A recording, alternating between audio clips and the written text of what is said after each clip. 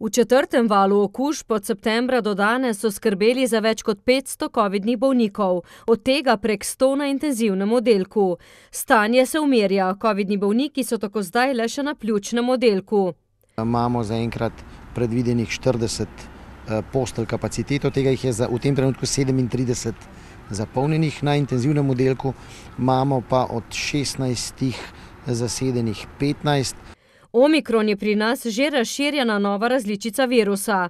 Načeloma, če bi imeli bolnišnične oddelke polne zaradi potrebe po kisiku, to bi še nekako zmogli, da bi bile pa večje potrebe za intenzivno nego, si pa pravzaprav ne znam predstavljati, ne. Prostori in oprema niso težava, medtem ko je med zdravstvenim osebjem veliko bolniških in porodniških odsotnosti. Nekoliko lažje postaja, ja, z zmanjševanjem akutnih bolnišničnih postelj, vendar samo v nekem segmentu.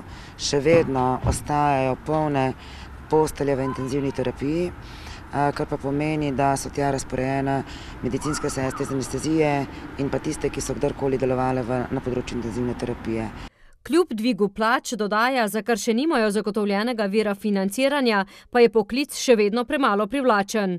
Na poslovanje bolnišnice v tem letu so vplivali sprejetje aneksij h kolektivnim pogodbam, visoke podražitve plina, elektrike, stroškov materiala in storitev pri naložbah, najbolj pa seveda epidemija koronavirusa.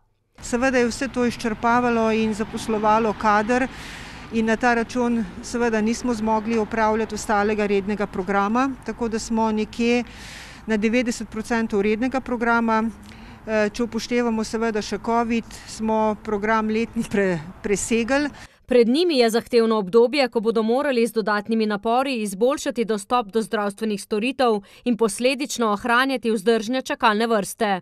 Zavedamo se, da je med temi čakajočimi lahko tudi veliko resno bolnih, za katere bo lahko obravnava potem tudi prepozna. Sicer pa so se v bolnišnici včeraj razveselili treh monitorjev za spremljanje življenjskih funkcij. Petnajst tisoč evrov vredna donacija roletarstva Medle bo v pomoč tako v urgentnem centru kot Centru za intenzivno medicino.